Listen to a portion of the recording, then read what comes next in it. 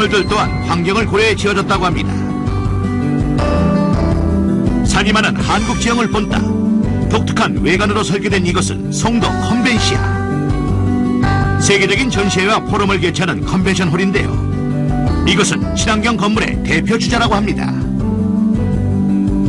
저희 송도 컨벤션은 2010년 4월 국내 컨벤션 센터에서는 최초로 LEED 인증을 획득하였습니다. LEED 인증이란 음, 국제적으로 인정받는 그린 빌딩 인증, 인증 시스템을 말합니다.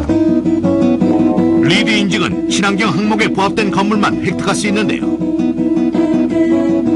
먼저 건물 마감 자재로 친환경 자재 및 건축 폐기물을 재활용해 자원절약에 힘썼고 각 공간마다 이산화탄소의 농도를 자동으로 감지하는 센서를 부착해 실내 환경에 요구되는 열및 동력 에너지를 절감하고 있습니다. 이산화탄소와 관련된 시설은 또 있습니다. 일반적으로 냉동기의 냉매를 프레온 가스 사용하고 있으나 송도 컨벤시아는 물을 냉매로 사용함으로써 오존층의 파괴를 어, 예방하고 있습니다.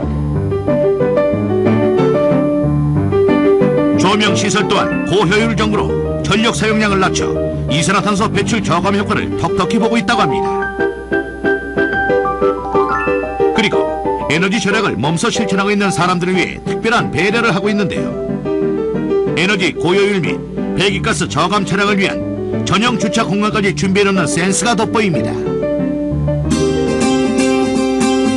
그 밖에도 건물 안팎으로 환경을 생각한 설비들을 많이 갖춘 컨벤시아. 받은 캐리